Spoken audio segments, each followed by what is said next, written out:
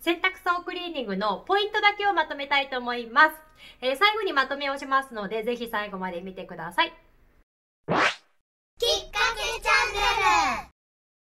え皆さんこんにちは物選びと暮らしのマニアハイパー主婦梅野あゆみですえ今日はお友達のお家に遊びに行ったらたまたま洗濯槽クリーニングについての質問を受けたので、えっと、それを皆さんに共有していこうかなと思いますで今日友達が悩んでたことっていうのがですね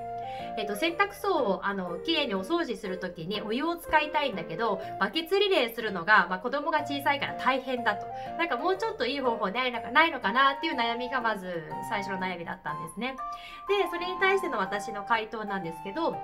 え、ー、と、まあこれ普通かもしれないけれども、お風呂の残り湯で使うホースがあるじゃないですか。あのホースを活用して、えっ、ー、と、洗面所のところから出てくる、あの、給湯の温度を55度ぐらいに設定し、洗面所にお湯を張りながら、そこに残り湯用のホースを挿しといて、洗面所に溜まりながら、そのホースから洗濯機にお湯が行くみたいな風な仕組みにすると自動的にあのお湯が溜まっていくからすごく楽だよっていう話をさせてもらいました。あとはですねその時に私がついでにポイントいくつかあのお友達に教えてたんですけど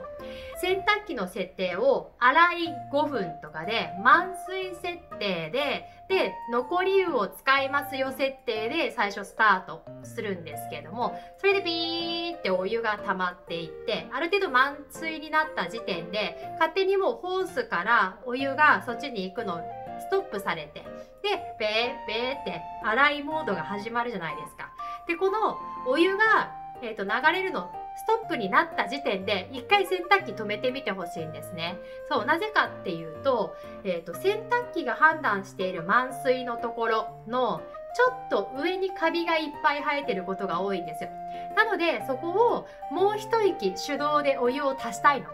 ということで洗濯機でお湯が溜まったよって言って洗い始めた段階で一回ストップを押してで手動でお湯を何度かに分けて入れることによってカビが生えているところまでお湯がこうやって浸かるんで、はい、その方が綺麗に洗えるっていう話でした。あとは、その洗い5分、最初の洗い5分終わった時点で、えっ、ー、と、蓋開けに行ってですね、そこに熱いお湯で溶かされた酸素系漂白剤の液がありますよね。この液を使って洗濯機の周りをきれいに掃除しておくと、すごく洗濯機がきれいになるよっていう話をさせてもらったりとか、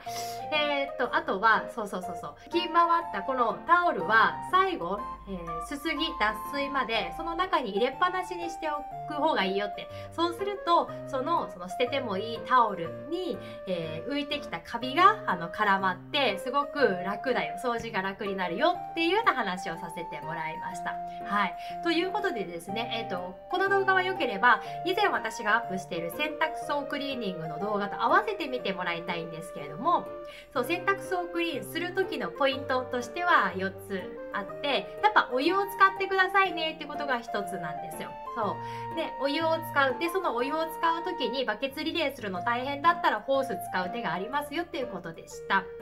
とは2つ目のポイントとしてはうんと満水よりももう少し上までお湯あの食べましょうねっていう話です。そうすると綺麗にカビが取れますよっていうことです。でポイント3つ目。3つ目はですね、えっと、その酸素系の液すごくあの洗浄力高い液がせっかく出来上がってるからこの液を活用して捨ててもいいようなボロ布とかタオルで、えー、洗濯機の周りまできれいに拭いておくとすごく全部がきれいになってあの一石二鳥だよっていう話。で最後4つ目のポイントとしては最後すすぎ脱水した時に、えーと、カビがあの流れきれなかったやつが洗濯機槽の内側に溜まるのがあの汚いからもったいないのでそうならないように使わないボロ布タオルなどはポイって洗濯機の中に入れておいたまんま、えー、すすぎ脱水した方がいいよ。というお話でした。はい。よければ参考にされてください。で、こういう洗濯にまつわるお話、えー、洗濯のメカニズムの話などは私の洗濯講座でしていますので、